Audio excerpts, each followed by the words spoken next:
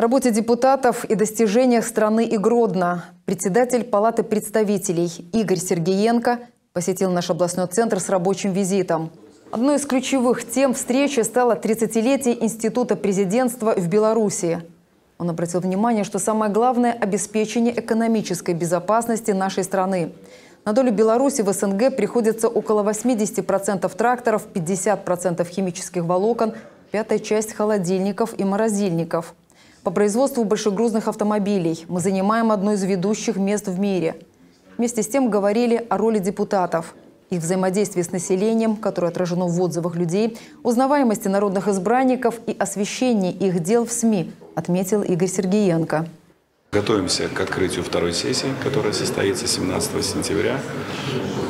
Весьма символично, в День народного единства. Ведется работа над 16 законопроектами. Это и вопросы социальной защиты, и вопросы образования, и вопросы правовой сферы, экономики, и самые различные направления, скажем так принимают активное участие, работая в комиссиях и депутатах Гродненской области. Кроме того, Игорь Сергеенко встретился с коллективом предприятия «Гродно-жилстрой».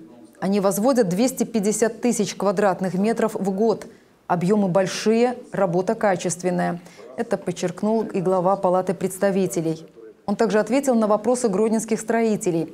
Они, к слову, касались видения развития этой отрасли конкретно в нашем городе.